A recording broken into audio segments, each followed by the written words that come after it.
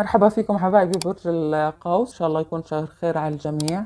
آه رح نشوف طاقتك هذا الشهر آه ورق بشكل عام آه شوي لمحة عاطفية عن العاطفة تحذير ومسج من الحبيب. خلينا نشوف طاقتك كيف عاملة. هذا الشهر تركيزك على شو رح يكون يا قوس؟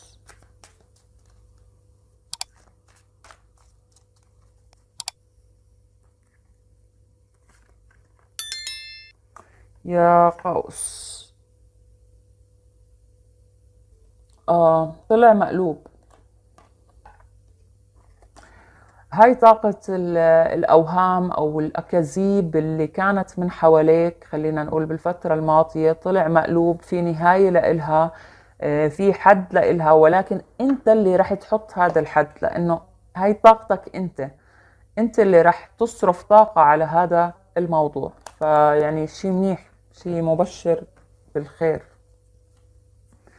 شوف بشكل عام.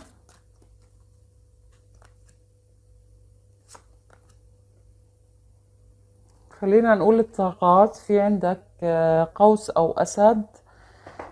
عم يطلعوا لنا كل الأبراج.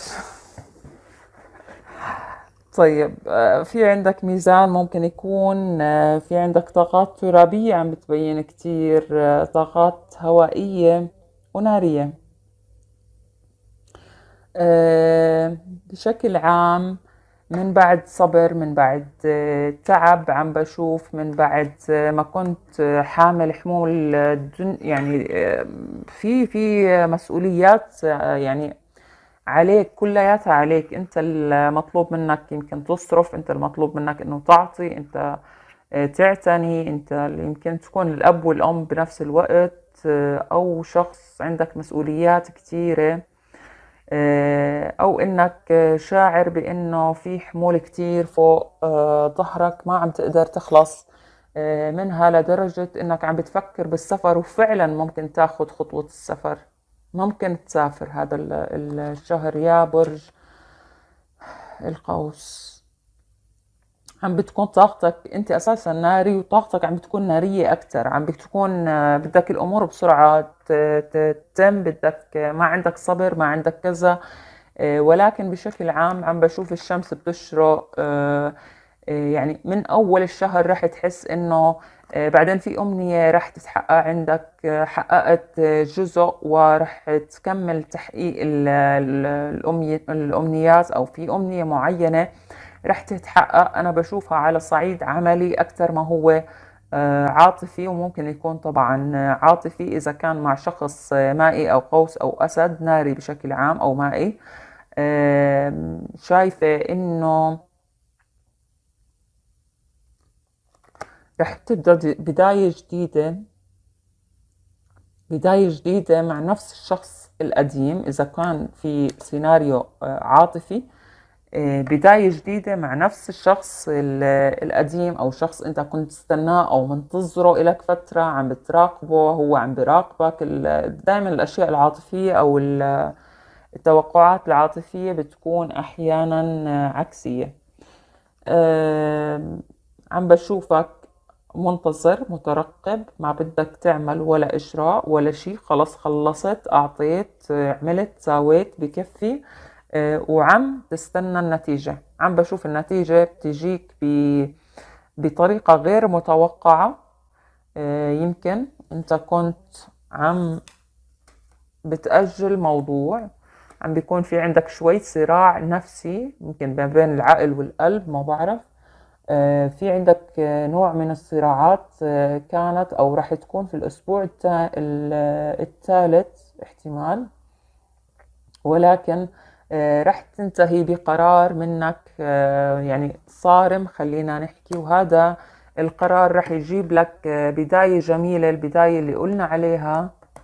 أنا حسيتها عم تكون على الصعيد العاطفي وعلى الصعيد العملي بنفس الوقت عم بتكون في بدايات جديدة عندك. إما مع شخص آه، قديم إذا كان في عندك شخص آه، موجود أساسا في ضغطك آه، أو إنه على صعيد العمل عم بيكون في عمل جديد فكرة جديدة ممكن تطور في نفس العمل خاصة إذا كان مديرك من برج ترابي أو ناري فهو ممكن يرقيك أو ممكن يعطيك مسؤوليات اللي أنت كنت تحسها إنه كتير يعني كنت تطلع عليها بطريقة سلبية هي بالعكس هي رح تجيب لك السمعة الطيبة ورح تجيب لك الترقية ورح تجيب لك أشياء حلوة ما بعد هيك. ف آه، عادي جدا. أنا بقول لك اتعب آه، أول فترة من آه، الشهر ما في مشكلة لأنه بعدين في النصف الآخر من الشهر وكأنك عم تحصد النتيجة. عم بتكون في كارما في في الموضوع في شخص ظلمك ممكن يكون طاقته مائية أو هوائية. هذا الشخص أو نارية ممكن تكون.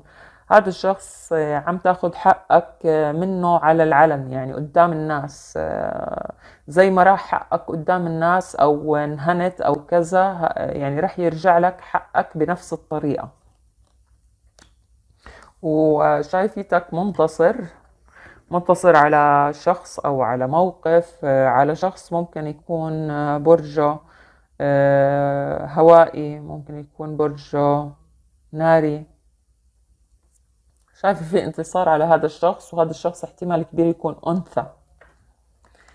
آه هذا بشكل عام وشايفة في فرصة سفر حلوة. ولكن أنت يمكن تأجلها لأنه ما شايفيتك مسافر ولكن في فرصة آه سفر. خلينا نشوف العاطفة بشكل عام كمان.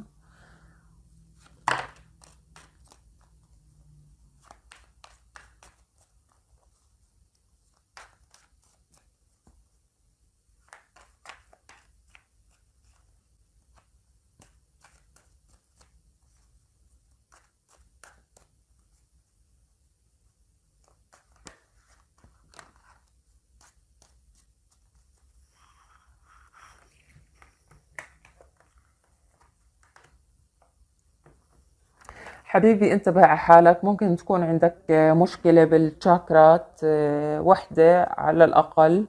آه، فبس تهتم في هذا الموضوع.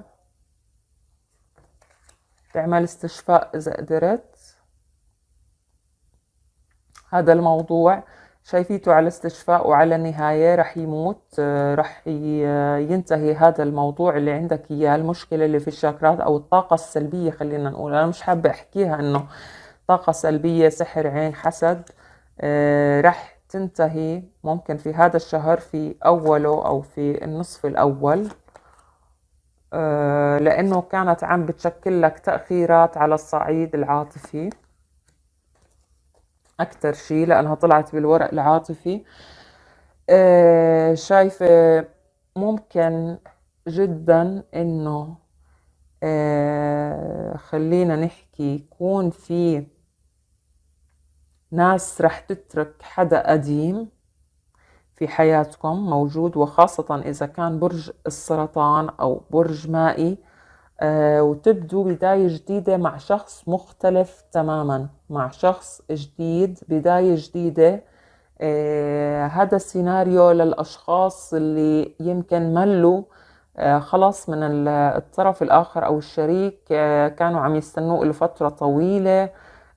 عم بشوف نهاية وبداية مع شخص آخر بفعلا شخص جدي شخص عم بيكون مائي أو ترابي. آه، عم بيكون جدي أكتر آه، عم بيكون بيستحقهم فعلا آه، من زمان عينوا عليهم أو يعني من هذا القبيل.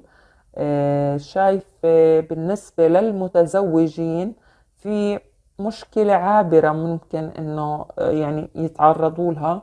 ممكن يكون في شك إما أنت تشك بالشريك أو الشريك شاكك فيك في موضوع من المواضيع ولكن بمشي الموضوع يعني العجلة بتمشي ما في يعني مخاوف من هذه القصة. آه، عم بيكون في آه، بالنسبة للمنفصلين حتى للمرتبطين مراقبة شديدة من الطرفين لبعض. آه، عم بيكون في ذكريات طاقة ذكريات كبيرة خاصة في أول الشهر. آه، عم بشوف شوي شوي عم الفرحة من بعد آه، تعب يعني ومن بعد آه، فترة طويلة من الانتظار من آه، الظلم انظلمت في هاي العلاقة يمكن أعطيت كتير فعم تسترد اللي أنت أعطيته. عم برد لك إياه الشريك ولكن هذا الشريك شوي بطيء شوي شايفيته بطيء أو عنده شوية مشاكل عنده عوائق. في كان طرف ثالث مسيطر والآن عم بتلاشى. طرف ثالث قلنا حبايبي مو شرط خيانة يعني ممكن يكون أي عائق في العلاقة. شايفة في علاقة جدية بالأفق. حتى للمنفصلين مبنية على أسس مبنية على أسس آه، يعني ثابتة مش مش حكي فاضي أو مش أوهام أو مش وعود بالهوى. عم بيكون عم بيكون الشريك صادق وعم بوعوده وعم بنفذها شايفيته عم بنفذها وهذا الشخص آه، من بعد المشاكل من بعد الكذا رح يرجع طبيعته معك رح يرجع آه، بصفاته اللي بلش معك فيها خلينا نحكي. ممكن للعزاب كمان يلتقوا بشخص من طاقات آه، مائية أو ترابية أو حتى نارية يعني. ممكن يلتقوا بشخص آه، جديد هذا الفترة هاي الفترة.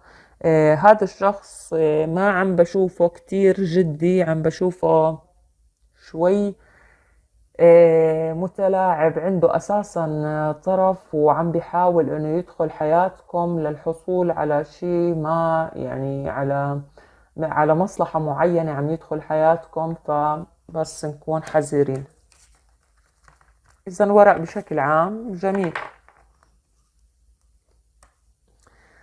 نشوف مسج من آه، الحبيب. ما قادر يحكي لنا إياها. أو من عقل الباطن أو كلمة أو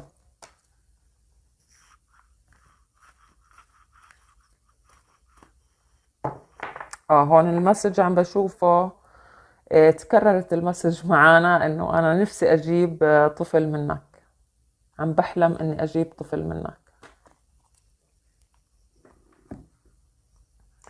خلينا نشوف تحذير هذا الشهر للقوس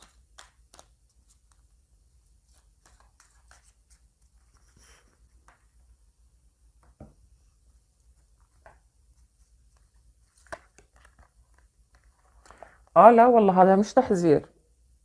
هذا عقد زواج عقد بيت عقد في عقد راح تعو... آه، توقع عليه. في ورقة اللي هي إما عقد زواج أو عقد يمكن عمل. آه، في عقد راح توقع عليه في ورقة راح تروح توقع عليها. يا قوس خلينا نشوف أوراكلز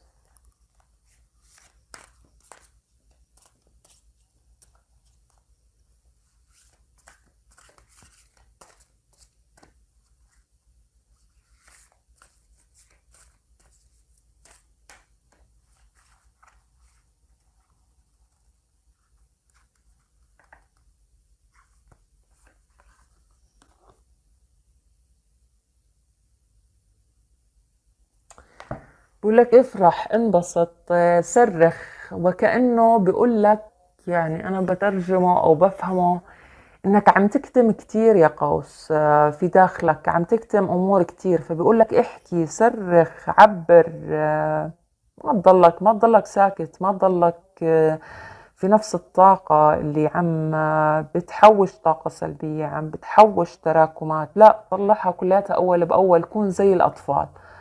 بقول لك شاوت يعني صرخ. حتى تحصل على السعادة فلازم تفرغ اللي جواتك. لازم تطلع اللي جواتك. وحبايبي برج القوس بشوفكم بالفيديو الجاي.